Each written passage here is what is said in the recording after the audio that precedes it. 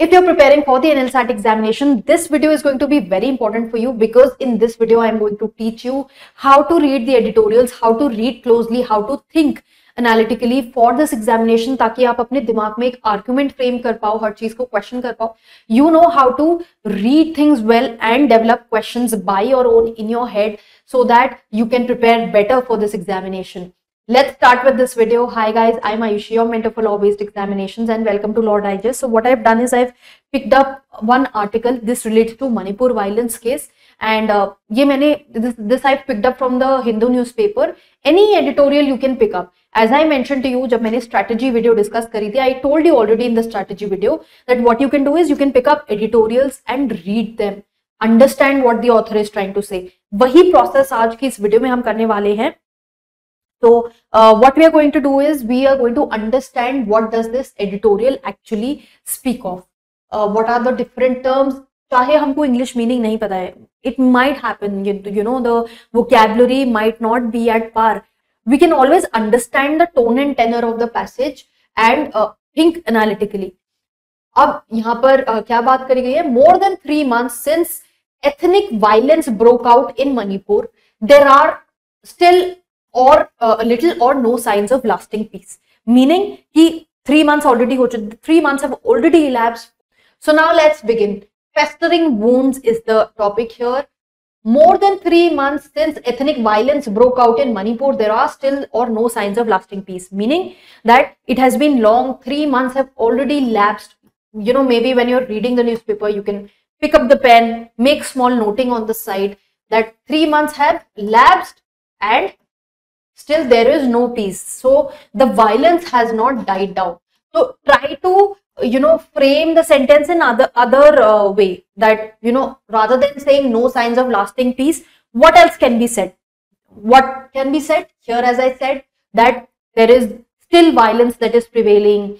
Uh, fights are still prevalent. So peace ka opposite a conflict conflict still prevails. So things like these. Isse it gets better when you get down to questions you will always you know be able to identify the the different sentences that are used, you will be able to, you know, sort out that what is it trying to actually say. You won't get confused that ye to pura confusion ho gaya about the passage. So you have to get into this mental exercise. From competing groups imposing blockades of arterial roads to sporadic attacks resulting in deaths, conflict is rife with incidents suggesting breakdown of law and order. Now this can become really tough for you to read at one go. How will we break this down? in your head. Simply understand this. When you're reading, you have to be fully focused. From competing groups imposing, uh, imposing blockades. Yani, basically what is it? It is trying to say that these groups, we already know. एक basic knowledge आपको to है हर चीज की. Now here the basic knowledge is there are two groups Meitei and Kuki community. Now we know that these two groups are blocking the roads. So you can remove this word. If you don't understand arterial you can remove this or you know you can look up the dictionary for your vocabulary. But for meanwhile we are not as such focusing on vocabulary. We are focusing on understanding the passage and analyzing it. So here it says blockade of uh, blockades of roads jo hai that is done by these communities. Then what else is done? Sporadic attacks. कोई एक pattern नहीं है random attacks हो रहे हैं resulting in what deaths, conflict is rife with incidents uh, suggestive of breakdown. Law and order has broken down completely. There is no control. Police is not able to control things. Conflict is rife. Now, you know, question yourself. Why does the author feel that the conflict is rife? Or what are the circumstances that are suggesting that the conflict is rife? So, rife meaning the conflict is prevalent. The conflict uh, is widespread. So what are the uh, things we can infer from this particular sentence that there is blockade, roads blocked hai. Then there are attacks. Police cannot control the situation. So these things are showing us that the conflict is rife.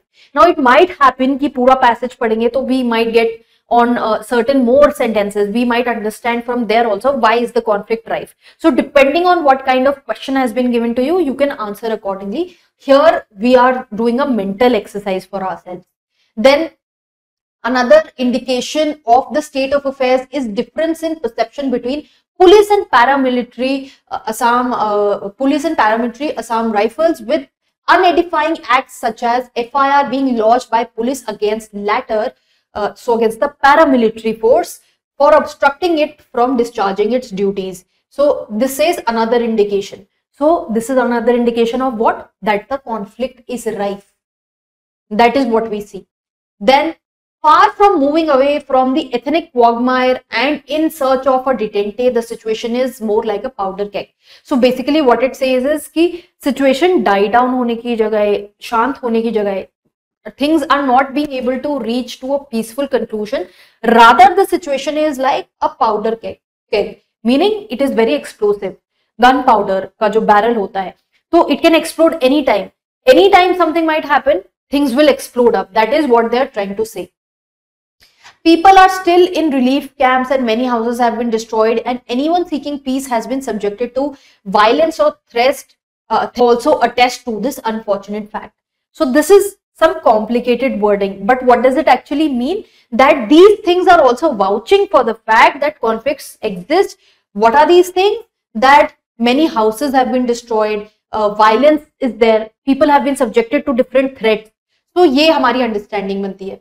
Then India's mainstream polity had an opportunity to use monsoon session of parliament. Though presently we know ki monsoon session abhi khatam ho chuka hai. Ki parliament could have used is use this to uh, to work towards reconciliation but that opportunity was seemingly lost as the prime minister and home minister they had little to say beyond homilies uh, on what needs to be done, even as the opposition sought to pin down the government for the failures uh, in order to score a political point. So think about it. What is it basically trying to say? Ki monsoon session mein what opportunity the government had. The government had the opportunity to address this situation, to bring a reconciliation, but they did not uh, do anything apart from, you know, making general preachings. And uh, opposition tried its best to pin them down because again elections ki baat hai political agenda rehta hai har cheez mein.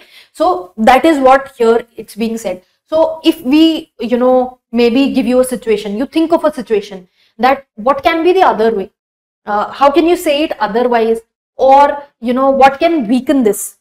If you know you've been given certain situations that rather uh, you know uh, the central government is working towards this the central government uh, came out with new laws at the same time the central government so these things will weaken this stand that here what the author is trying to say अभी जो present में government है, उन्होंने ज़्यादा effort नहीं लिए in the monsoon session now if I make a statement on the contrary that in the monsoon session major criminal reform were passed so this is directly affecting the statement of the author so things like this you have to think it through that what can be the option these things you have to practice If you want more help, we're obviously providing you with a lot of passages in our module. It's available on our website if you want to check www.lawdigest.in wherein this work of framing questions has already been done for you and you have to practice. But here it is at the same time important to understand how are we supposed to go about our reading process. Then events in Manipur so far suggest that the ethnic conflict festers because of the intractable positions between the two leaders. Yani, though leaders, nobody is uh, ready to budge. The Meiteis uh, refuse to acknowledge the sense of bias in the state government action, especially by the chief minister that have alienated the uh, Kuki and its representatives cutting across party lines. Now here, think otherwise. Meiteis have refused to acknowledge the sense of bias. What does it mean? What is the author trying to imply? The author is trying to say there are two groups, Meitei and Kuki. The government is, uh, you know, favoring Meitei community, which is why they are not able to see the bias. The bias is against Kuki because they have been alienated. So you will find your answers in these statements only, just that you have to read closely, understand things better. That is how you will be able to analyze things in your head. Then the latter seeks to harp on the idea of separate administration. Latter meaning Kuki Kuki wants a separate administration which is complicating the fragile coexistence of ethnic identities Jo statement included hai Meitei Kuki. further there is Naga community. So they feel the author feels that they want a separate administration. Now you can also think of situations where you know if I question you that is this justified? What is the circumstance where we can say that this idea of Kuki or uh, if they're hanging on to this idea how is it justified? Which of the following statement uh, supports their idea? So you know maybe we can say that uh, they will not in a view of the recent order that was passed by the court high court they would not get the lands to them. They are in minority. Things like these. They will help you. Current affairs obviously you have to stay updated with what's going on around in the country that you have to read you have to read your newspapers. Apart from that you have to practice reading here reading closely. Again and again i'm telling you read things closely. Whenever you're studying the passages read closely. Whether coaching or you're practicing by yourself you're reading up try to keep a notebook on the side and try to write down things. That what this statement is trying to say. Question yourself. Then moving forward, the refusal of civil society representative to uh, rise above their ethnic differences has exacerbated the conflict which has worsened due to lack of accountability on the state government and its refusal to change its leadership. Meaning, agar hum uh, ye baat kare ki what has worsened this conflict? You know, if the author is trying to, uh, if you are given a question like this, that what has worsened the conflict? Then you can speak about this thing that state apni accountability nahi maan state is not ready to accept uh, these things and they're not even changing their leadership then Manipur is a vital uh, border state and continuing disturbance between these two will have a lasting impact on future generations, severely hampering progress.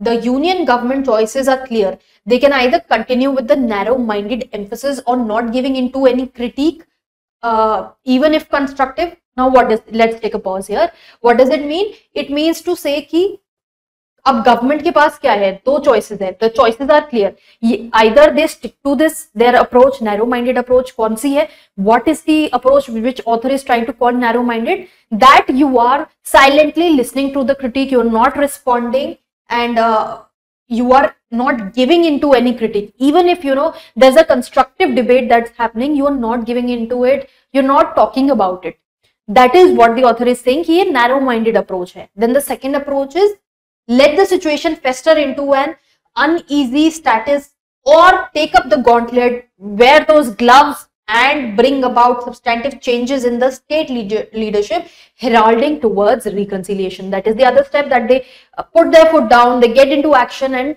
bring about a reconciliation. Ye second uh, the other side that the central government can adopt the other option that is available to them.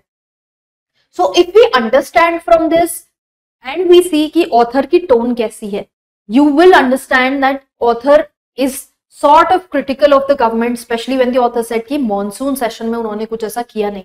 Opposition ने pin down करने की कोशिश करी. So again, uh, थोड़ा critical भी है but at the same time neutral भी है because they also set that opposition try to pin them down because political agenda is election are closer then here Dev again been critical की या तो they can continue their narrow minded emphasis this is very important here because this shows that the author is not thinking too high of the government that what approach the government is holding what the author wants out of the government that you wear those gloves and take substantive changes towards changing the situation, reconciling. That is what the author is trying to infer here. The author wants that.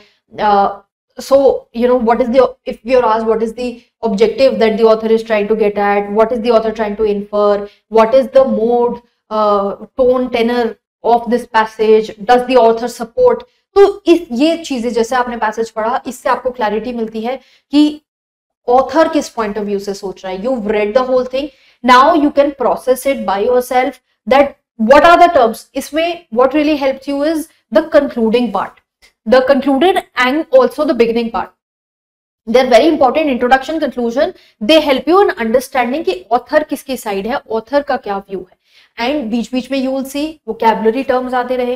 Then they can ask you GK based question also current affair based question also maybe you know GK based में we saw Assam rifles के paramilitary forces की बात करी गई so you know maybe they can ask you जब जे का division हुआ था तो वहाँ पर भी बाउंड्री कमीशन आई थी तो असम के रिलेशन में they can ask you NRC के रिलेशन में they can ask you so things can date back prior to the period uh, that we are considering when you are reading such passages make sure because there's no end to these passages so we can't give you an exhaustive list but when you are reading any passage whatever passage you've picked up try to make sure कि उसमें जो terms आ रहे हैं उससे relation में जो GK है उसके बारे में थोड़ा थोड़ा आपको पता हो you have that awareness because 23 में वी सीन दैट कुछ एक दो क्वेश्चंस हैं जो ऐसे पूछे गए हैं which were not in contemplation so that you can prepare. I hope this session was of use to you. You were able to understand how to read closely, how to identify what the author is trying to say, how to get that uh, analytical understanding of the passage. and um, let's see i'll come out with more sessions. Let me know if this session was of use for you. And i'll come out with more sessions if you would like to help you guys understand ki kaise hum passage ko how to read the passage. In case you have any query doubts drop down the same in the comment box below in case you're looking for module for practice for understanding concepts. Then you can check our website www.lawdigest.in jahan par you will find the nlsat course further make sure that you're following the channel because these videos keep coming up legal current affairs keeps coming up and uh, general guidance regarding your law entrance also keeps coming up. So follow the channel uh, follow us on instagram and subscribe to the channel